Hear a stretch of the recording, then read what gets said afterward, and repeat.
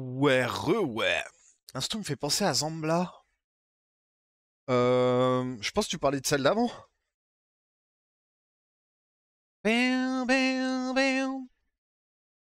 Ah, alors là j'ai un sandwich euh, blanc de poulet, euh, moutarde de Dijon et j'ai un autre sandwich brie. Je sais que le sandwich au brie, je vais le regretter très fort. Je vais le regretter très très fort. Mais ça fait longtemps que j'en ai pas mangé, donc euh, vas-y, go pour du brie. Voilà. Et je sais que je vais pas le digérer, que demain je vais me tordre de douleur comme un gros connard. C'est incroyable. Non, celle-là? Ok. Bête d'instru, frérot. Putain, ça fait une éternité que j'ai pas bouffé du fromage qui pue. Mmh. Mmh.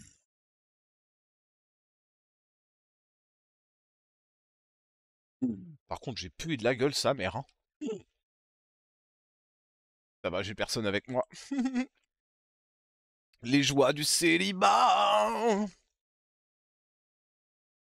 Alors. Du coup, la, vidéo s'intitule Le système Hello des échecs à l'e-sport. Euh, je vous ai envoyé le lien dans le chat. Euh... Go. Magnus Carlsen est-il vraiment le meilleur joueur d'échecs du monde? Est-il carrément le meilleur joueur de tous les temps? Meilleur que Kasparov? Et quelles seraient mes chances? Kasparov, ça me dit un truc, ce blaze. Ce mois de gagner contre lui. Il est très fréquent que dans le domaine des jeux, du sport et même aujourd'hui des jeux vidéo, on souhaite pouvoir comparer le niveau de joueurs qui ne se sont pas forcément déjà rencontrés ou bien qu'on veuille établir un classement universel d'absolument tous les participants. Si on parle d'un sport avec une référence objective de performance comme mettons euh, le saut à la perche, bah, c'est facile, hein, on peut facilement comparer le niveau de différents compétiteurs, même à travers le temps. Mais pour un sport ou un jeu qui fonctionne avec des matchs, des affrontements, comment on peut faire? Eh bien, c'est l'objectif de ce qu'on appelle le système ELO, une méthode mathématique qui attribue une sorte de note à chaque joueur censé refléter son niveau intrinsèque, et qui permet donc de comparer les chances de victoire respectives de deux joueurs, même s'ils ne se sont encore jamais rencontrés. Aujourd'hui, on va donc essayer de comprendre ce système de notation ELO et pourquoi il est utilisé maintenant sous différentes formes, aux échecs bien sûr, mais aussi dans le football, le e-sport comme à League of Legends, ou encore sur Tinder. Tinder? Ok. Tout d'abord, ELO, E-L-O, ça n'est pas un acronyme, hein, contrairement à ce qu'on pourrait penser. C'est le nom du physicien et joueur d'échecs Arpad Elo qui l'a développé dans les années 1960. Vous savez peut-être qu'en français on parle souvent de classement Elo, mais il faut réaliser que c'est un peu trompeur comme dénomination. Le but du système Elo n'est pas juste de classer des joueurs, hein, premier, deuxième, etc mais de les évaluer avec un score censé capturer leur niveau intrinsèque. C'est donc plus qu'un classement, hein, c'est un...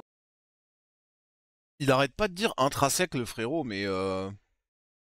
C'est quoi la définition pure du mot intrinsèque? Désolé, hein. je peux pas continuer la vidéo s'il nous dit intrinsèque toutes les 5 minutes et que je comprends pas là. Parce que euh, je l'utilise aussi, mais dans des cas où je sais que ça s'utilise là, quoi. C'est un train pas mouillé. Ok, merci. Putain de merde. Oh, le pire c'est que ça m'a fait rire. Qui est intérieur et propre à ce dont il, à ce dont il s'agit. Ok. Qualité intrinsèque, la valeur intrinsèque d'une monnaie, qu'elle tient de sa nature. Voilà. Et, et intrinsèque s'écrit I-N-T-R-I-N-S-E, accent grave Q-E. J'aurais écrit ça euh, complètement autrement, moi, mais... oh putain Oh, c'est trop grave, les gars, faut que je me remette à, lire des livres. Je vous le dis, hein, mais je le ferai jamais. Hein. Mais c'est trop grave. j'allais, j'allais vraiment te le... non, vraiment, elle était pas mal. Un système de notation. En anglais, on dit d'ailleurs plutôt Elo Rating, ce qui capture bien cette nuance. Avec la notation Elo, on ne veut pas seulement dire qui est le plus fort, mais pouvoir juger de la différence de niveau de deux joueurs. On veut pouvoir estimer à quel point Magnus Carlsen est plus fort que moi aux échecs. Le système Elo est intéressant principalement quand on a une discipline où l'on s'affronte. Il y a des matchs hein, dans lesquels à la fin il y en a un qui gagne et un qui perd. Et même s'il existe des variantes, on va déjà essayer de comprendre comment ça fonctionne dans ce contexte simple. Imaginons donc que vous ayez un groupe de joueurs d'une discipline quelconque et que vous vouliez leur attribuer une notation qui soit le reflet de leur niveau intrinsèque. Comment vous feriez? Une solution classique, c'est d'organiser un championnat. Hein. Tout le monde affronte tout le monde, un point par victoire, et on voit combien chacun a de points à la fin. Simple sur le papier, mais pas très pratique quand on a beaucoup de joueurs. Au foot, c'est facile. Hein. En Ligue 1, on a 18 clubs. Mais aux échecs, où on a plusieurs centaines de milliers de joueurs à comparer, on va pas faire un championnat géant où tout le monde affronte tout le monde. Au tennis professionnel, on a un système différent d'un championnat. C'est le classement ATP chez les hommes, WTA chez les femmes. On organise des tournois et chaque tournoi rapporte des points en fonction de votre performance. Et les points d'un tournoi donné sont remis en jeu chaque année. Donc le classement est permanent. Le problème de ce type de système, c'est que comme les points sont liés aux participations dans les tournois, si vous jouez peu ou pas du tout une année, vous perdez tous vos points. Si Djokovic arrête complètement de faire des tournois pendant un an, bah, il va tomber à zéro, ce qui ne va évidemment pas refléter son vrai niveau. Ce qu'on voudrait idéalement, c'est un système de notation qui soit évolutif, hein, qui ajoute ou retire des points en fonction des victoires et des défaites, mais d'une façon qui ne dépende pas forcément de tournois ou de championnats précis un système de notation qui soit permanent et universel et permette de comparer tout le monde, y compris euh, moi et Magnus Carlsen. Pour explorer ensemble les options possibles et voir comment on a pu arriver au système Elo, j'ai préparé une petite simulation qui va nous permettre C'est ce que je disais l'autre fois, je sais plus, il y avait quelqu'un qui regardait Roland Garros et je lui ai fait la réflexion. Je lui ai dit, tu sais que Joko c'est un vendeur de bracelets là? de faire des expériences. Imaginons que j'ai, disons, 40 joueurs et joueuses qui puissent s'affronter dans un sport ou un jeu quelconque. Moi, j'ai codé un petit jeu pour les besoins de l'expérience, mais sa nature exacte n'a pas vraiment d'importance, et c'est tant mieux. Hein. On veut justement imaginer un système qui soit polyvalent et ne dépende pas des détails du jeu ou du sport considéré. La seule chose qu'il y a à savoir sur les règles de mon petit jeu, c'est que chaque fois que deux joueurs s'affrontent, il y en a un qui gagne et un qui perd. Simple évidemment, j'ai doté mes joueurs de différents niveaux à ce jeu. Certains sont plus forts que d'autres. Attention, ça ne veut pas dire que dans un affrontement, le meilleur gagne toujours, hein, non. Il y a, comme dans la vraie vie, une part d'aléa. Mais les niveaux relatifs de deux joueurs reflètent leurs chances respectives de gagner au cours d'une confrontation. Alors pour que ce soit simple à visualiser, j'ai donné à tous mes joueurs fictifs des prénoms, et l'ordre alphabétique reflète leur niveau de jeu. La plus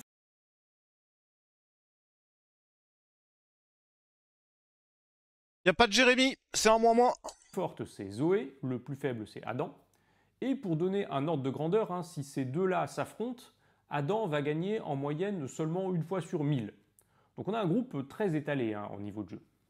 Hmm. Pour fixer les idées, voici un tableau qui représente les pourcentages de victoires si on les faisait s'affronter chacun un très grand nombre de fois. Par exemple, ici, on lit que si James affrontait Gabriel, il gagnerait dans 67% des cas en moyenne. Voilà, vous connaissez nos protagonistes virtuels, mais attention, hein, le fait que le niveau soit lié au prénom, c'est évidemment juste pour nous, hein, pour nous aider à décoder et interpréter les résultats de nos essais. Ouais, mais Isabelle, c'est une connasse, on le sait déjà, pardon. Hein? Pour notre système de notation, on va partir du principe qu'au départ, on ne sait absolument rien des niveaux respectifs de ces joueurs. J'avais que ça en tête. a priori identiques, et on va chercher un système qui permette de les évaluer. Un des intérêts de cette petite simulation de jeu que j'ai créée, c'est qu'on est dans une situation bien contrôlée, où j'ai fait en sorte que les joueurs ne progressent pas. C'est-à-dire que leur niveau est constant dans les affrontements virtuels qu'on va organiser. Évidemment, dans la vraie vie, ce sera plus compliqué, puisqu'on peut progresser ou régresser. Mais bon, commençons déjà par ce cas simple. Résumons ce qu'on souhaite. On veut un système de notation évolutive. Au départ, on ne connaît pas le niveau de nos joueurs, donc on leur donne tous la même notation initiale je vais créer des affrontements au hasard entre eux, pas un tournoi bien organisé, et on veut distribuer des points pour que les notations évoluent au cours des parties, et finissent au bout d'un moment, par refléter leur vrai niveau. Alors commençons par l'idée la plus simple. On donne un point pour chaque victoire. Si je fais ça et que j'organise des affrontements au hasard dans mon groupe, voici l'évolution des notations au fur et à mesure des parties. Alors effectivement, les plus forts marquent des points plus vite que les autres, hein, sans surprise. On a un système qui classe bien les joueurs, c'est sûr. Vous voyez que l'ordre correspond à l'ordre alphabétique et donc reflète correctement leur niveau intrinsèque. Le problème, c'est que le truc diverge complètement. À aucun moment, la notation d'un joueur ne se stabilise. Plus il y a de matchs, plus il y a de points distribués, on ne contrôle rien. Pour faire un tout petit peu mieux, on peut faire en sorte qu'à chaque partie, au lieu de donner juste un point au vainqueur et zéro au perdant, on donne un demi-point au vainqueur et on retire un demi-point au perdant. En moyenne, on ne distribue pas de points, hein, mais c'est un transfert, on creuse l'écart entre les deux. Et voilà ce qu'on obtient. Dans le fond, bah, ça ne change pas grand-chose. Hein. Si on démarre pour tout le monde avec un score de, mettons, 0, les bons joueurs augmentent leur notation aux dépens des moins bons, qui se retrouvent même avec un score négatif. Donc on a le même problème de divergence. Et puis c'est très facile de hacker un système comme celui-ci. Imaginez que David, qui est là au fond du classement, le décide de ne plus affronter que Adam, le plus faible du groupe. Avec une stratégie comme ça, bah, David pourra en quelque sorte vampiriser Adam et se faire plein de points sur son dos. Si c'était ça aux échecs, ça veut dire que n'importe qui pourrait accumuler plus de points que Magnus Carlsen en jouant de façon répétée contre un débutant. C'est un peu absurde. Ce qu'on veut, c'est un système où la notation d'un joueur finisse par converger vers une valeur qui reflète son véritable niveau intrinsèque. Vu que mes joueurs virtuels ne progressent pas, une fois que les notations sont établies, elles ne devraient rester à peu près stables. Et là, clairement, c'est pas le cas. On sent bien que ce qui ne va pas avec cette méthode, c'est que continuer à filer des points à un joueur bien classé pour le récompenser d'avoir battu un joueur très faible, bah, ça n'est pas très cohérent, parce que c'était totalement prévisible. Et pareil dans l'autre sens, hein, si un débutant perd contre le champion du monde, bah, ça n'est pas une surprise, donc ça ne devrait pas franchement le pénaliser. En revanche, si un joueur classé plus faible bat son adversaire classé plus fort, là ça devrait donner lieu à pas mal de points, car ça signifie que ce joueur était plus fort que ce que sa notation actuelle suggérait, ou que l'autre était plus faible que prévu. Pour voir comment faire ça mathématiquement, imaginez deux joueurs que l'on pense être de niveau comparable. Ryan et Sophia et disons qu'à un instant donné, ils ont le même classement, la même notation. Mais qu'on ne soit pas sûr que ces notations soient très représentatives de leur véritable niveau. Et imaginons que ces deux-là s'affrontent sur 100 parties. S'ils ont effectivement un classement comparable, on s'attendrait à ce que chacun gagne en moyenne 50 parties sur les 100. Oui. Et si c'est effectivement ce qu'il se passe, on ne veut pas distribuer de points. C'est que les notations respectives étaient bonnes. Maintenant, si Ryan gagne, disons, 65 parties et Sophia seulement 35, là, il se passe un truc. Ryan se révèle meilleur que prévu et Sophia moins bonne. Donc il faut ajuster leur notation. Une façon de mesurer ce qu'il s'est passé, c'est de comparer le nombre de parties gagnées avec ce à quoi on aurait pu s'attendre. Ryan a gagné 65 parties au lieu de 50, il mérite donc en quelque sorte 15 points. Sophia n'en a gagné que 35, bah, elle mérite de perdre 15 points. C'est l'écart entre la performance réelle et la performance attendue qui doit donner lieu à des ajustements de notation. Alors là, c'était le cas facile hein, pour des joueurs de niveau comparable. Maintenant, généralisons au cas de deux joueurs ayant une notation initiale différente. Genre les Smurfs. Imaginons que Mia, qui a une notation de M, affronte Pierre, qui a une notation de P. Et que sur 100 parties, Mia en gagne 60 et Pierre 40 est-ce qu'on doit ajuster leur notation? Eh Bien, vous sentez que ça dépend des valeurs respectives de M et P. Un raisonnement simple, c'est de dire que la probabilité de victoire attendue de chacun devrait être proportionnelle à sa notation. Pour Mia, la probabilité de victoire devrait être M divisé par M plus P, et pour Pierre, P divisé par M plus P. Ça semble assez raisonnable hein, comme formule. La somme fait 1, et chacun gagne proportionnellement à sa notation. Donc pour ajuster leurs points, il faut comparer les nombres de victoires constatées à ce qu'on aurait attendu théoriquement d'après cette formule. Et le cas échéant, distribuer des points en fonction de l'écart à cette prévision théorique. Prenons des cas concrets. Hein. Imaginons que Mia est un niveau de 300 et Pierre de 500. La probabilité théorique de victoire de Mia est de 300 divisé par 300 plus 500, c'est 37%. et pour Pierre c'est 63%. Donc sur les 100 parties, Mia aurait dû en gagner en théorie 37 et Pierre 63.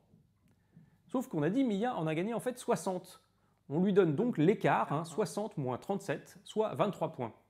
Pierre n'en a gagné que 40, donc on lui retire l'écart, c'est-à-dire aussi 23 points. Ok. Dans mon exemple, le résultat de l'affrontement a été assez différent de ce que les notations initiales reflétaient. Donc ces dernières ont été ajustées assez fortement en conséquence. À la prochaine partie, si leurs niveaux n'ont pas trop changé, les notations seront plus proches de leur performance. Ouais, ouais j'allais, j'allais dire oui, euh, mais pourquoi il n'a pas parlé des probabilités de, euh, des probas de victoire de un tel et un tel, mais on n'est pas sur les probas, on est juste sur le, les lots, quoi. Jusqu'à finir par converger. Alors là, pour vous faire comprendre la logique, j'ai pris le cas où nos joueurs s'affrontaient 100 fois de suite. Mais on peut énoncer le principe général de cette méthode en l'appliquant même à une seule partie. Si deux adversaires ayant une notation préalable de A et B s'affrontent, on donne un point au vainqueur et zéro au vaincu, et on retranche la probabilité que chacun avait de gagner cette partie d'après les notations initiales. On retranche A sur A plus B pour le premier et B sur A plus B pour le second. On fait donc évoluer les notations des joueurs d'une façon liée à l'écart entre la performance réelle et la performance attendue. Sur une seule partie, évidemment, les notations vont toujours un peu bouger. Mais vous voyez que sur un grand nombre de parties, en moyenne, elles n'évoluent que si celles-ci ne reflétaient pas déjà le niveau réel des joueurs. En principe, le système devrait converger. Au bout d'un moment, les notations devraient se stabiliser. Pour le voir, on peut maintenant reprendre ma simulation et appliquer ce petit système. On voit que c'est pas mal. Hein. Au départ, on donne à tout le monde 100 points, et au fur et à mesure du temps et des parties, les notations finissent par évoluer et se stabiliser. Il y avait combien, il y avait, il y avait combien de, protagonistes? Enfin, combien de joueurs, euh, de faux joueurs de son truc? Euh, Faudrait juste que je regarde le hein. Quand les notations des joueurs reflètent leur niveau réel, on n'a plus d'évolution car chacun obtient des résultats conformes à son classement. Mm, mm. J'ai oublié, ouais, je crois que c'est 50. non, c'est pas 50. en fait, c'est important de savoir, euh, je voulais juste voir pour le pourcentage de gens qui sont tirés au-dessus de 250 d'élo, quoi. C'était ça que je voulais savoir. Au départ, ne représente pas une progression ou une régression des joueurs. Hein. On l'a dit, ici, on part du principe que leur niveau réel ne change pas. Ce qu'on voit, c'est que le système de notation prend du temps pour converger. Ce qui est logique, hein, leur niveau réel est inconnu au départ, on a mis 100 à tout le monde. Et la notation se construit peu à peu à partir des statistiques de victoire et de défaite. Avec ces notations qui convergent, vous voyez qu'on a un système bien meilleur. Si un joueur ah, arrête de jouer quelque temps, sa notation va rester fixe. Il ne va donc pas significativement perdre par rapport aux autres. Et ce qui est intéressant, c'est que maintenant que les notations ont convergé, elles reflètent vraiment les probabilités de victoire respectives. Prenons Riley et Owen. Si je regarde leur notation à la fin de la simulation, j'ai 252 pour Riley et 169 pour Owen. Normalement, les gars, si je parle pas trop fort, là, il y a Ayo qui est en train de s'endormir. Tranquille. Tranquille. C'est très bien. Faut qu'il dorme. D'après ces notations, avec la formule théorique, Riley doit gagner dans environ 59% des cas. Or, dans mon tableau de probabilité initiale, je vois qu'effectivement, sur des affrontements répétés, il gagne dans 58% des cas. Ça veut dire que les notations respectives de ces deux-là, à la fin de la simulation, ont bien convergé vers des valeurs qui reflètent correctement leur niveau respectif. Et ça marche même si je fais en sorte que ces deux-là ne se soient jamais rencontrés avant. Les notations respectives permettent de prédire les probabilités de l'issue d'un match. Et c'est normal que ça fonctionne comme ça, hein. on a conçu notre formule d'ajustement pour, de façon à ce que la probabilité de victoire soit proportionnelle à la notation de chacun. Donc c'est super, mais il y a quand même un léger souci avec ce système. C'est l'interprétation que l'on fait des écarts de niveau. Par exemple, Zoé a environ 100 points de plus que Ryan. Et si je les fais jouer l'un contre l'autre de façon répétée, je vais trouver que Zoé gagne dans environ 59% des cas. Et on voit que leurs notations sont bien raccord avec ça. 370 hein. pour Zoé, 270 pour Ryan. D'un autre côté, en bas de classement, Oliver a aussi 100 points de plus qu'Anna. Mais ses probabilités de victoire sont de 99%. Ce qui est logique, hein. Anna n'a qu'un point et Oliver en Anna est à chier. Donc là aussi, les notations reflètent bien les vraies probabilités de victoire. Donc avec notre idée que la notation soit telle que les probabilités de victoire soient proportionnelles à la notation, un écart de 100 points peut vouloir dire des choses très différentes en haut et en bas du classement. Et ça n'aide pas à l'interpréter. On peut donc essayer d'améliorer encore un peu la formule. Dans la procédure de distribution des points, au lieu de considérer que les probabilités théoriques de gagner sont données proportionnellement à la notation, on va considérer que c'est proportionnel à la puissance de la notation. Alors voici une formule qu'on peut utiliser pour la probabilité de victoire théorique de deux joueurs de niveau A et B. C'est le même principe. J'ai mis de la moutarde de Dijon dans mon Twitch là, les frérots. Wouhou Il fait chaud sous la casquette, hein. Principe qu'avant, mais je prends maintenant 2 puissance A et 2 puissance B. Et je choisis de diviser préalablement le niveau par 100. C'est un choix un peu arbitraire, je reviendrai dessus un peu plus tard.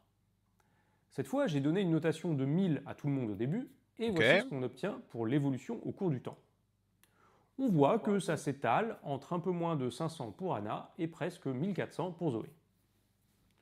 Si je compare cette fois Zoé à Owen, ils ont un écart de 100 points, et si je les fais jouer l'un contre l'autre, je constate que les probabilités de victoire associées sont d'environ 70-30. Et en bas de classement, pour Christophe et Benjamin, une centaine de points d'écart également, on a aussi des probabilités de victoire autour de 70-30. Vous voyez qu'avec la petite modification introduite, on a un classement qui est mieux étalé et surtout qu'on peut plus facilement interpréter. Un écart de 100 points entre deux joueurs, ça correspond à environ 2 chances sur 3 de victoire pour le plus fort et une chance sur 3 pour le plus faible. Dans les paris sportifs, on désigne parfois cette situation en disant 2 contre 1. Le plus fort a 2 chances de l'emporter, le plus faible une. Merci des gens. Cote. 100 points d'écart avec cette formule, c'est une cote de 2 contre 1. Maintenant, si je prends deux joueurs avec 200 points d'écart, Isabella et Lucas, on a environ 80% de victoire pour Lucas et 20% pour Isabella. Ça correspond à une cote de 4 contre 1. Avec 300 points d'écart, c'est 8 contre 1, 400 points d'écart, 16 contre 1, etc. Vous voyez le motif, hein à chaque fois qu'on ajoute 100 points, on double la cote. Et c'est parfaitement normal que ça fasse ça. On a choisi la formule d'ajustement pour ça. Dans ma formule d'ajustement de score, c'est le sens de mon 2 puissance le niveau divisé par 100. Cette formule fait qu'augmenter l'écart de 100 points correspond à un doublement de la cote. Alors dans ma formule, j'aurais pu prendre d'autres paramètres que 2 et 100, et on aurait eu des valeurs de notation différentes. Mais la structure du classement aurait été identique. C'est important de comprendre que les notations vont toujours converger vers un classement qui a les propriétés que l'on a mises dans la formule d'ajustement. Mais avec 2 et 100, ça donne une interprétation facile et un étalement sympathique des scores. Mais si j'avais pris 1000 au lieu de 100, bah, le système de notation serait naturellement ajusté pour que les notations s'étalent sur plusieurs milliers.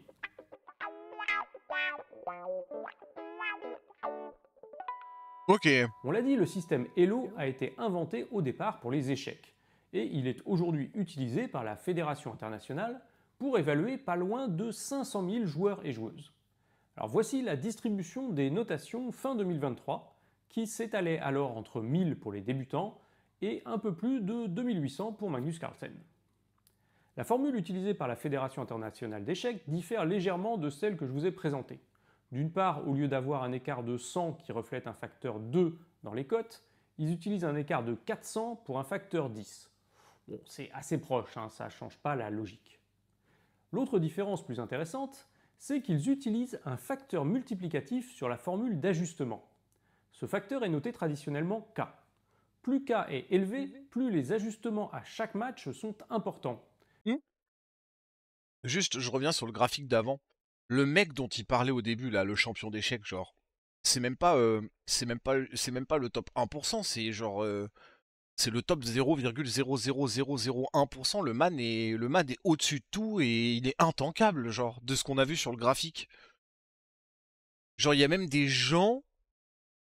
Il y a même personne entre lui et la masse de gens, euh, de gens qu'il y a, quoi. Le mec et son cerveau, c'est. C'est incroyable. Et il est norvégien. Ok, ok, ok. Et donc, non mais c'est quand même incroyable l'écart euh, l'écart de level entre lui et le restant du monde quoi les changements de notation seront rapides. Mais ça rend aussi les notations un peu plus instables. Dans ma simulation, j'avais pris k égale 1. Et vous voyez qu'il fallait quelques milliers de parties pour que ça se stabilise. Mais voici ce qu'il se passe si je prends un facteur k égale 10. Bah, cette fois, il suffit de quelques centaines de parties pour que la notation atteigne sa valeur réelle. Mais vous voyez qu'en contrepartie, les courbes sont beaucoup plus volatiles et instables, car le hasard d'une bonne ou d'une mauvaise série bouger pas mal les notations. En pratique, la fédération d'échecs utilise un facteur K plus élevé en début de carrière, 40 hein, pour les débutants, de manière à ce que leur notation reflète leur progression. Mais à haut niveau, le coefficient diminue et n'est que de 10 chez les grands maîtres de façon à stabiliser un peu les classements. Les programmes informatiques d'échecs possèdent eux aussi un classement Elo, puisqu'on peut les faire s'affronter entre eux, mais aussi les confronter avec des humains pour fournir des points de comparaison. Actuellement, les meilleurs d'entre eux, comme Stockfish, possèdent des valeurs Elo supérieures à 3500. Ah oui, donc ça n'est pas évident à interpréter, l'autre incapable de bien plus élevé que les incapable de battre quoi. Mais ça reflète l'idée qu'un grand maître international n'aurait en moyenne hein, qu'une chance sur 100 de battre un de ses programmes.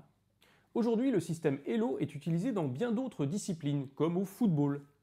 Depuis 1997, il existait de façon non officielle un classement Elo des équipes nationales en parallèle du classement officiel de la FIFA.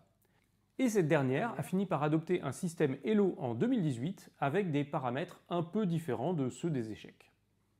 Dans un autre genre, plus récemment, on a vu apparaître un site appelé Chatbot Arena qui classe les modèles de langage avec un système Elo. Pour faire s'affronter deux modèles, l'idée est simple, hein. on propose deux réponses en aveugle à un utilisateur qui doit décider de sa préférée. Cela compte comme un match entre les deux chatbots et on ajuste leur notation Elo, ce qui permet de réaliser un classement permanent.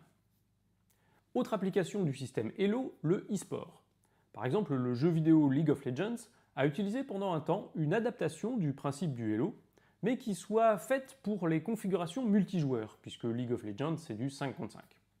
Dans le e-sport, on continue d'ailleurs parfois de parler communément de Elo pour les notations des joueurs. Dis le e-sport. C'est quoi le, truc correct? C'est l'e-sport ou le e-sport?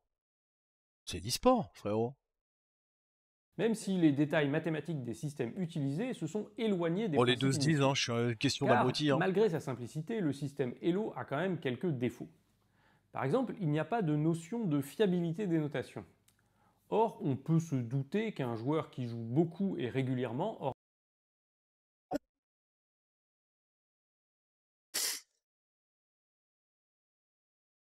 Les sports électroniques une notation plus fiable qu'un joueur occasionnel. Pour refléter ça, différents algorithmes ont été imaginés, comme le TrueSkill, un système de classement breveté par Microsoft et utilisé dans certains jeux Xbox. Au-delà de ces disciplines, j'ai même lu qu'un principe de Hello aurait même été utilisé un temps par l'application de rencontre Tinder. Alors j'ai un peu du mal à voir comment ça fonctionne, il hein. faut trouver un moyen de réaliser des affrontements entre utilisateurs, mais enfin bon. Ah, c'est au nombre de matchs, non? Simplement. Pourquoi pas Et qui sait, peut-être que sur Tinder, j'aurais eu mes chances pour battre Magnus Carlsen. tu vas vraiment conclure là-dessus, frérot? Merci d'avoir suivi la vidéo, n'oubliez pas de vous abonner pour ne rien rater des prochaines vidéos. Rejoignez le serveur Discord de Science Étonnante, hein, le lien est en description. Et puis moi je vous dis à très vite pour un nouvel épisode. À bientôt. Bon, en vrai, euh, en vrai c'est sympa. Euh, moi je m'attendais à ce qu'il fasse une plus grosse euh, partie sur l'e-sport. Mais c'est marrant, c'est marrant qu'il ait parlé de. Tu sens qu'il a parlé de LoL à un moment où. Parce qu'en fait, il y en a qui justifient leur lose et leur truc en disant ouais, je suis dans une loser queue, un truc, un machin et tout, mais Là, c'est valable aujourd'hui, mais à l'ancienne, ça ne l'était pas visiblement. Alors, il y avait vraiment un vrai système d'Elo, quoi. Et il y a Microsoft qui utilise un... Qui, qui en utilise euh, sur euh, des jeux compétitifs. OMG. En vrai, euh... en vrai, méga intéressant. Méga intéressant. Bon, en... si je suis euh, totalement, totalement clair avec vous et, et sans mensonge, il y a des trucs où j'ai absolument pas bité parce que dès que ça part en mathématiques et en fractions et en, après, c'était pas très compliqué, mais... Mais... Euh... Ça va, il vulgarise bien. Il vulgarise bien. Par contre, je suis très très jaloux de la coupe de cheveux, hein, le frérot. Hein. Genre, il a quand même bien réussi à masquer la calvasse. Hein. Si je laisse pousser, j'arriverai jamais à un résultat comme ça. Mmh. Ah Bébé, bébé, bébé, bébé moi, ça me fera un ticket de métro en plein milieu du front, c'est tout ce que ça me fera faire. Mais, mais, mais, En vrai, méga intéressant. Méga intéressant. Euh, la chaîne, je m'étais déjà abonné. et, euh, et le faire. euh. Ah, c'était quelle vidéo qu'on avait regardé lui déjà? Et je sais pas si c'était que lui l'intervenant. On avait déjà vu une vidéo de ce mec. Je ne sais plus quel était le sujet. En tout cas, merci Papet. Euh, pour, euh, pour ce quart d'heure culturance, bien sûr. Pour ces euh, 23 minutes de culturance, c'est bien. C'est bien des fois. Faut s'en mettre, euh, faut s'en mettre. On mourira moins con. Et, euh, et intéressant le système d'élo. Et vous, vous êtes plus Anna ou Zoé? Il vulgarise très très bien, oui. Il ne se sent pas obligé de faire le bouffon comme tant d'autres. Ouais, je vois le, je vois l'ambiance. Et reste sérieux. Putain, eh. Attention, hein. Attention, faut pas le toucher, hein. Sinon, Papé, il arrive. Patate, hein. Papé, il vénère. Papé, il a dit vraie chose, là. Je viens de découvrir un stream d'un book qui est Pizzaiolo stream au taf. Oh, ça, j'en ai vu pas mal, là. Il y a des boulangers aussi qui le font. Non, en vrai, euh, vrai super intéressant, Cimer. Et puis, euh, et puis euh, moi, au, en fait, au début, je pensais que ça allait parler Kikimeter, tu vois. En fait, pas du tout. C'était, euh, c'était purement mathématique et factuel, quoi. Et, euh, et c'est méga intéressant.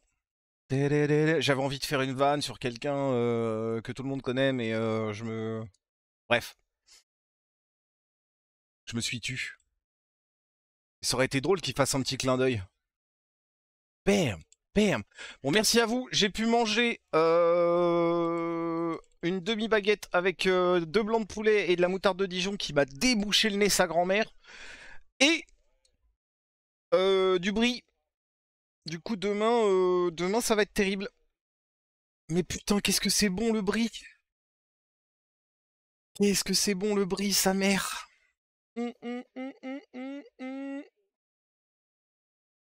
Oh. Hum. J'ai déjà vu passer un stream comme ça, mais ça semblait infâme et il foutait à moitié rien. Bam, bam. Non, Il y en a, il y en a, ils font leur stream en mode ghetto euh, dans leur truc, euh, dans leur truc crado, mais euh, mais il y en a des, il y en a des yams en vrai. Moi, je trouve ça cool qui, que les gens le fassent. C'est bien.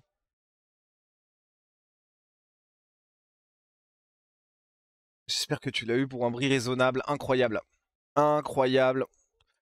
On est euh, entre le intrinsèque et le entrain mouillé, là, on est très bien là. On est très bien, euh, c'est très bien. Hum, hum, hum. Ah ouais, c'est ghetto là, yo Genre, euh, t'as pas envie de la manger, la pizza? Oh putain. Oh putain. Eh, eh, eh. Fais voir.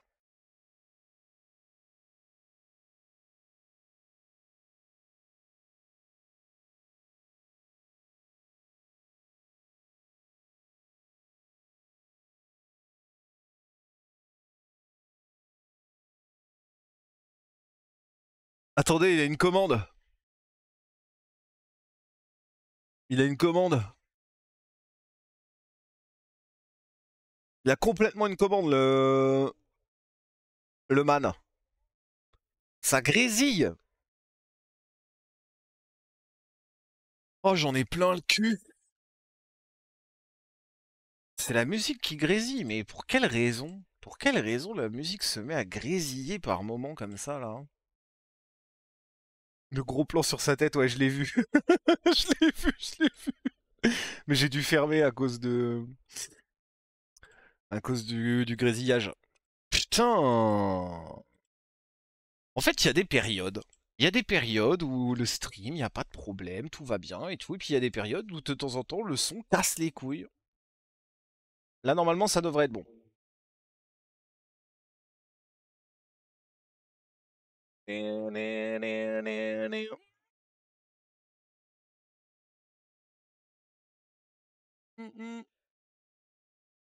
Là, normalement, ça devrait être bon. Si je fais ça... Là, c'est bon ou ça regrésille?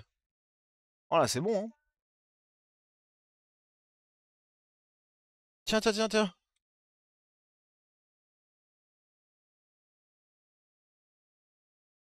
Ouais, donc tu regardes des pizzas tourner, quoi.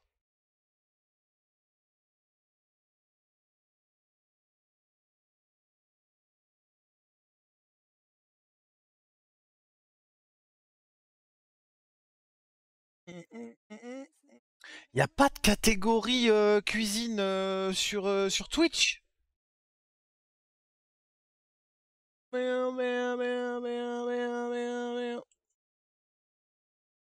Le téléphone dans le four, une chance sur deux qu'il tombe dans le feu. oh l'angoisse. Eh, vous pensez? Vous pensez, vous pensez? Attendez. Euh, kitchen? Il y a, un truc, c'est kitchen, cuisine, fais voir. Cuisine dimension.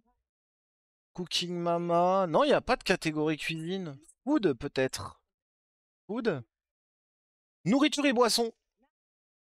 La catégorie s'appelle nourriture et boisson. Bon, s'il y en a un sur son stream qui est gentil et qui veut, qui bien lui dire de se mettre en nourriture et boisson, euh, voilà, c'est ça le nom de la catégorie.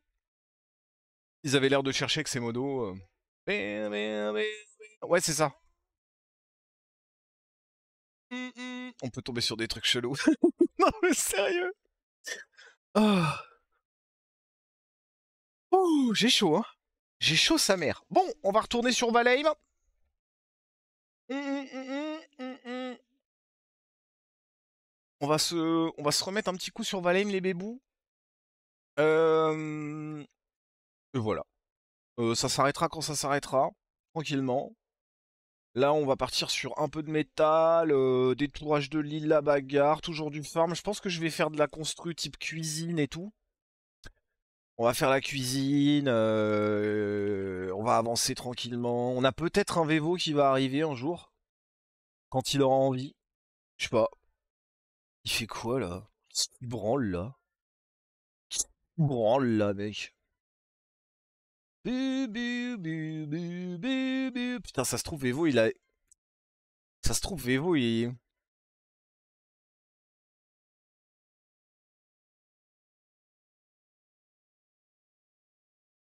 Un il est sorti.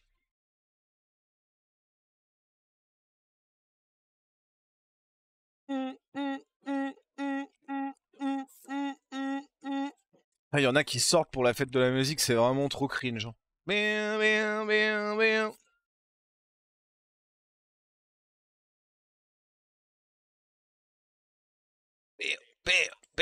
Alors, euh, Suzanne.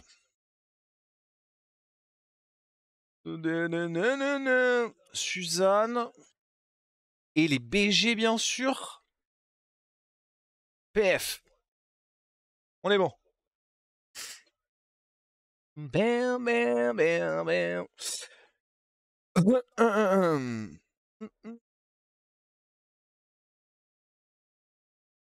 Ça existe pas ici, mais il y a les feux de la Saint-Jean. Ok.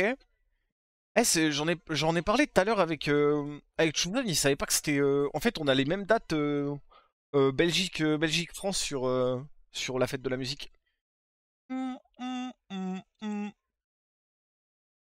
Sur d'autres fêtes, on les a pas, mais là-dessus, on l'a.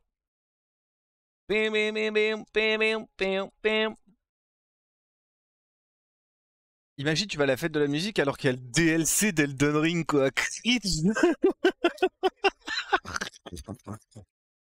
T'en es où, mec? Ça va, tu te régales ou pas? T'es pas déçu?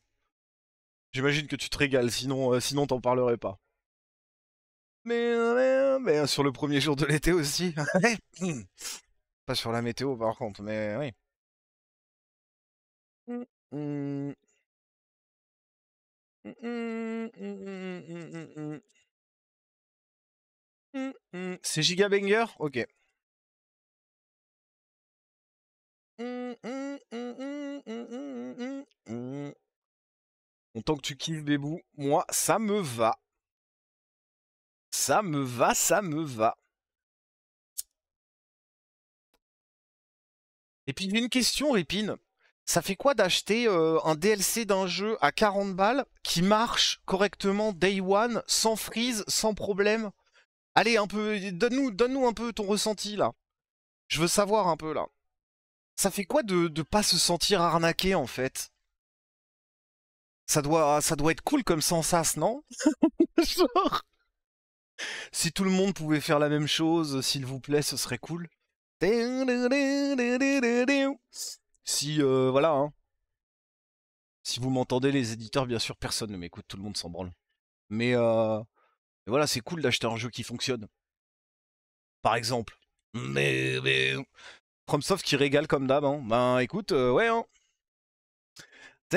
Comme quoi, ça n'est pas devenu monnaie courante euh, non plus. Il y a quand même des exceptions. Hein? Comment ça, mon ref? Comment ça, 58, mon ref? Après, il y a quelques rares drops, mais c'est plus mon PC, je pense. Ouais. J'imagine. Moi, c'était mon PC quand j'ai joué à Elden Ring. hein. C'était clairement pas le jeu. Ah. Et je crois que je l'avais pris euh, à la sortie. Bon, bah, vous êtes plus beau que moi. Suzanne est moche ce soir, c'est pas grave. Voilà, voilà, voilà, voilà, voilà, voilà. Je suis sûr qu'il y en a un de vous là, il est allé réajuster les pourcentages. Du coup, euh, en fait, c'est l'élo, c'est le temps que euh, je me 93. Magnifique, magnifique. Un bello bito en fait. Bam, bam. Ouais, ouais, ouais, ouais, ouais. Oh, ça m'a fait du bien de manger. Oh, j'en avais besoin. hein. J'ai mangé juste assez pour que je sois bien et pas trop pour euh, passer en phase de